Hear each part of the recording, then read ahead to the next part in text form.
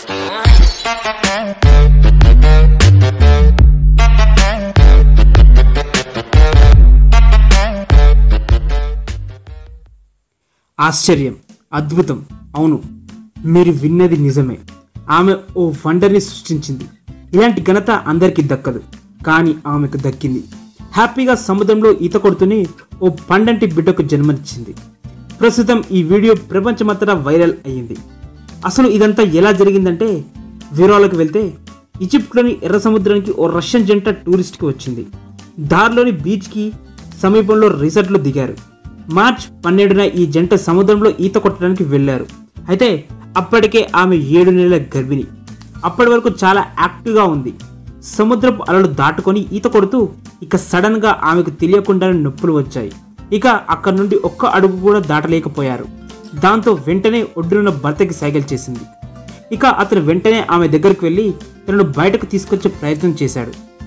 అలలు దాటి బయటకు వస్తున్న సమీపంలోనే ఆమె ఓ బిడ్డకు జన్మనిచ్చింది. కడుపుతో ఉన్న మహిళ సముద్రంలోకి వెళ్ళి తిరిగి బిడ్డతో రావడం చూసి జనాలు ఆశ్చర్యానికి లోనయ్యారు. ఇక ఆ భర్త భార్యని తన బిడ్డను పట్టుకొని రిసార్ట్లోకి వచ్చి అక్కడ ఉన్న డాక్టర్కి విషయం తెలియజేశారు. ఇక వెంటనే ఆయన ఓ బోల్ తీసుకొని ఒడ్డుకు పరిగెత్తుకుంటూ వచ్చాడు. ప్రస్తుతం ఈ ఫొటోస్ సోషల్ మీడియాలో వైరల్గా మారాయి. ఇక అలా పుట్టిన బిడ్డకు రెడ్స్ బేబీ అని పేరు కూడా పెట్టేశారు. ఇలా పుట్టిన బిడ్డని అలాగే తమ పేరెంట్స్తో ఫొటోస్ దిగుతున్నారు అందరూ. ప్రస్తుతం ఆ తల్లి బిడ్డ ఇద్దరు కూడా ఆరోగ్యంగా ఉన్నట్టు డాక్టర్ తెలిపారు.